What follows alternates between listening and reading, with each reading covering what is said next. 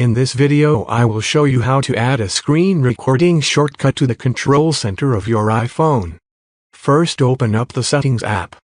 Scroll down and tap on Control Center.